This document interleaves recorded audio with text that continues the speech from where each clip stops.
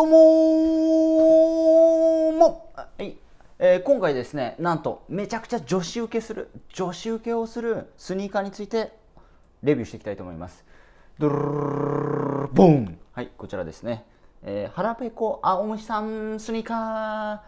ーイエーイはい、えーということでウィーウィーこれですねあの成田空港で買ってこれインスタグラムにアップしたらめちゃめちゃ女子からですねコメントいただきまして可愛いみたいなはい、えーそちら僕がインスタグラムどのように写真をアップしたのかこの YouTube の下にリンク入れておきますのでご確認ください。で実際にコメントを結構いただきましてめちゃめちゃ可愛いっていう。で僕これ一瞬で一目惚れしたんですけどももう腹ペコ青虫ちっちゃい頃ですね。あの絵本で相当見てました。まあ、母ちゃんに読んでもらったの。この「腹ペコ青虫さん」って多分ね100年相当の歴史がある絵本だと思うんですけどこの水たまり模様がですねめちゃめちゃ可愛いっていう。でこれは僕はどこにつけたかっていうとそのリュックサックにつけました。で僕あのちょうどそのバックパッカーやってるんですけど、まあ、バックパッカーで年収、えー2000万ぐらいなんですけど、えーバックパッカーをやりながらここここにこうつけてるんですね、歩くぞみたいな。よくないですか？これリュックサックにこれぜひこの自分の足で人生を切り開くっていう腹ペコ青虫そう自分の人生で足をこう踏み入れると。であとこちらですね。あの僕は成田空港で買ったんですけども、まあ、成田空港行けないという方いらっしゃると思いますのでこの YouTube の下にですねえ Amazon でなんとなんと Amazon で売ってた。Amazon でも売ってますのでその、えーリンクの方も貼ってますんでご確認ください。これほんと可愛いいですよ。これめちゃくちゃいい。はい。めちゃくちゃいいです。はい、これこれ可愛いという感覚ある人いるかな？僕ね結構女子的な感覚もあるんで。そうそうそうそう。はい。まあもうネタバレするとネタバレするとまあもちろんその僕の可愛いなと思って買った部分もあるんですけどこれねビジネス的なちょっとね話を今からするんですけどこれねあの僕の中で広告費なんです。広告費。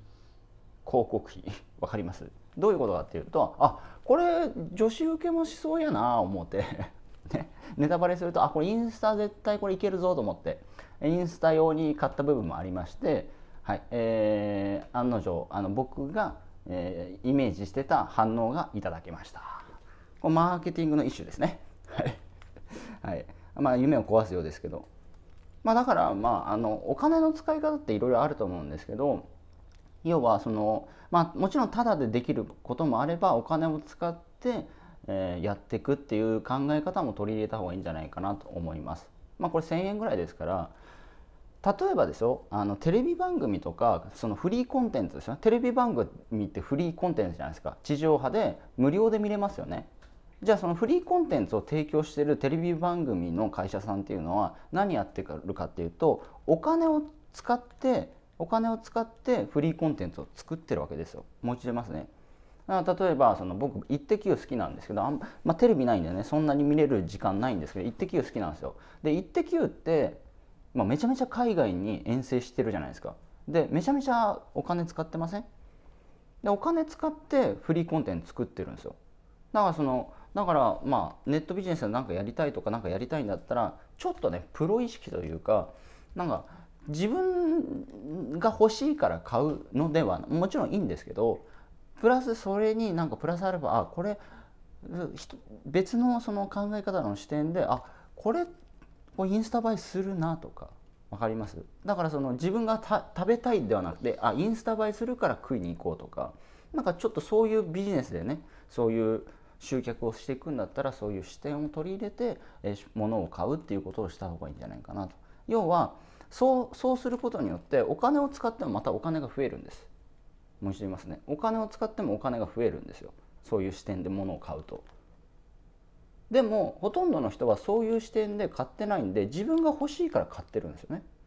えだから自分が欲しいから買いまあ多分ほとんどの人が人生においてまあ何年生きるかわからないですけども買い物って絶対するじゃないですか。買い物。お金使うじゃないですか。まあ食料品を買うなり服を買うなり、えーありますけど例えばこの前僕あのユニクロで、まあ、ちょっと今洗濯しちゃってるんで1個はないですけどこれドラえもんの今 T シャツね。これ買ってきたんですけどもこれドラえもんの。これ最近僕ドラえもんブランディングをしてましてえっと、ドラえもんかわいいっていうブランディングであのちょっとやってるんですけど、まあ、お客さんからですねユニクロとドラえもんがこうコラボしたよみたいな情報をいただいて、まあ、それをもとにまた買ってきたんですけどこれも自分が欲しいっていうのももちろんある部分もあるんですけどじゃあこれを着て動画を撮ることによって僕のファンの方に、まあ、その一つのエッセンスをねお届けできるんじゃないかなというところで買ってます。これこれねすごく面白いんですよ。ドラえもんみたいな。そのね、どうもドラえもんみたいな、まあ、これとかもそうですねこいつも買ったんですけど、まあ、これもそうですよそう。だからその、まあ、人生において買い物とかすると思うんですけど自分のメディアを作る上でのその投資というかねメディアをこう構築していく上での一つの、まあ、道具ですよね、うん、だだからよくみんな自動ツールとか好きじゃないですか。僕からするとこれツールなんで。まあほとんどの人はこれがツールだとは思わないでしょうね。僕の場合はそういう観点で商品を買ったりとかしてるのでお金が増えるお金の使い方をしてるわけです。でもほとんどの人はお金が増えるお金の使い方をしないので一向にお金が増えないということですね。わかります？例えばじゃあこれが元に集客できて僕の商品が売れたらこれ1000円ですけどじゃあ僕の商品っていろんなラインナップがあるわけですよ。例えば1000円以下の商品あ1000、まあ、1000円以下はあんまないか。まあまあまあ大体1万円以下から、まあ、高額の30万とかの商品もあるわけですよ。例えばじゃあ3000円の商品が売れたらどうですか？これ1000円の1000円ぐらいの投資ですけどもじゃあ3000円売れたら2000円の利益じゃないですか。じゃあこれがきっかけであ面白いなっていうことで入り口から来てで僕の商品買ってくれたらで僕2000円じゃないですか利益。って話ですよね。だから増えるんですよ。だからほとんどはこういう考え方がないのでお金増えないんですね。だからお金を稼ぐっていうことも大事ですけれどもお金の使い方っていうのが実は最も大事です。はい、ということでちょっとマーケティングの話も少ししましたけれども、えこちら、はい、マーケティングの要素で買いましょう。買いましょう、はい、これ女子受け絶対いいから。これ絶対女子受けいいよ。こうマジで。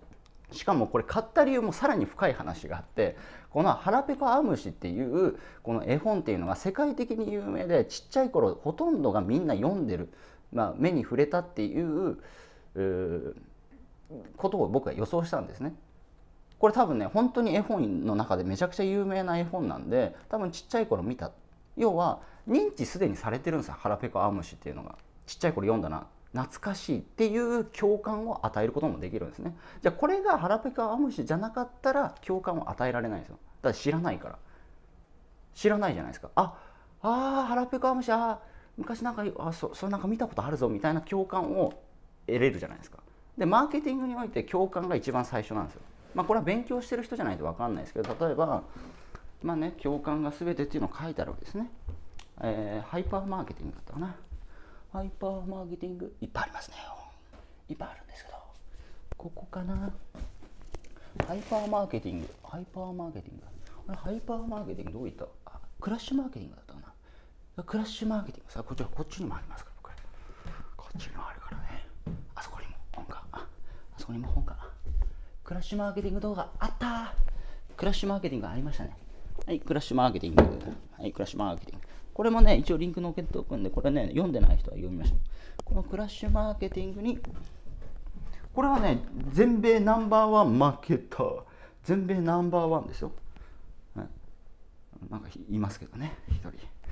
い痛い痛い。はい、えー、ここの本のクラッシュマーケティングの本の中のえっ、ー、とですね。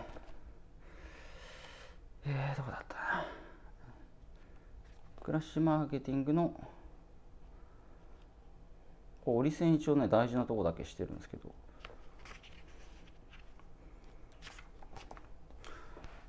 ああじゃあこのえー、この卓越の戦略ですね。卓越の戦略、まあ、これねあのあの J. エイブラハムっていう人あの IBM とかね。IBM ですよ。IBM のコンサル入ったりとか、まあ、すごい。なんかクライアントに7000億か8000億の売り上げをもたらしたみたいな、まあ、すごい人なんですけど。じゃその人がそのマーケティングの力を300%活用して価値に気づかせる第9章。ステップ市場の信頼を勝ち取るという章がありまして210ページ10ページですね。市場の信頼を勝ち取る、うん、長いんで割愛するところはありますけど。えっ、ー、と。え、じゃあちょっと割愛して読みますね、え、それまで違うそれまでと違うどんなことをすれば問題を解決しニーズを満たし目標を達成できるかを見込み客に提示することができればそれらそれらは彼らの信頼を得るプロセスに着手したことになるそして彼らがあなたを信用すればどんな買い物が自分の問題解決に役立つのかあなたのアドバイスをもあなたにアドバイスを求めるようになる全てはやはり共感から始まるのだと。まあ、とりあえず共感から始まるということでございますね。でこここのじゃ共感っていうのが何なのかっていうところに関しては、えっ、ー、と、